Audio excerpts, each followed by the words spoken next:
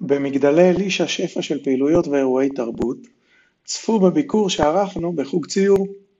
יש לי חוג כ-15 אנשים בדרך כלל, אנשים מכל העולם ומספרים סיפורים של ילדות ושל איך, איך בכלל הגיעו ארצה אם חלק מהם לא נולדו כאן.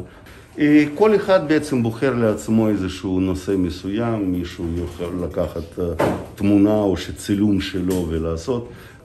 אני לא הייתי עושה לבן, אפשר נגיד להכניס קצת צהוב, קצת ורוד, בדיוק, שלא הכל יהיה סגול כזה, בסדר? יש כאן בליטה שעושים אותה עם משחה מסוים, שזה בעצם, רואים את זה? שיש בליטה? כן. יופי. יש אנשים, הנה למשל אסתר היא בת מאה, היא גם פסלת ברקע, היא מציירת אצלנו, אבל למטה למשל בכניסה, בלובי של כניסה, יש פסלים שלה, פסלים מאוד מאוד איכותיים ברמה באמת מקצועית גבוהה. בן אדם מצוין, בן אדם כישרוני, שעדיין היא פועלת, עדיין היא באה לשיעור. כל פעם היא לא מפסידה את זה ומציירת משהו שלה. איפה שמים את היצירות? קודם כל יש לנו כאן אופציה לעשות תערוכה קבוצתית, שבעצם בקומה שלנו אנחנו מחליפים כל הזמן תערוכות. חוץ מזה בלובי כניסה יש לנו חדר מיוחד שבעצם שם אנחנו מחליפים פעם בחודש, פעם בחודשיים תערוכה.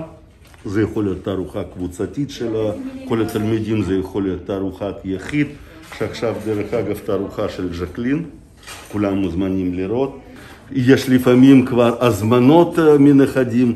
רחל למשל באה ואומרת שהנכד רוצה שאני אצייר לה סוס. אז אנחנו מתחילים לצייר סוס בגלל שנכד ביקש. או שנכדה שאוהבת שקיעת השמש ביקשה איזושהי שקיעה יפה.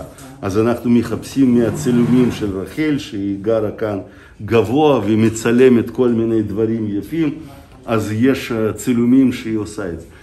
אנחנו לא עושים משהו מקצועי, אנחנו עושים משהו בכיף, שאנשים יהיו מבסוטים, שאנשים יהיו בריאים, שיבואו לכאן ברצון, ושביום שלישי יהיה להם איזושהי חגיגה ללב ולנפש.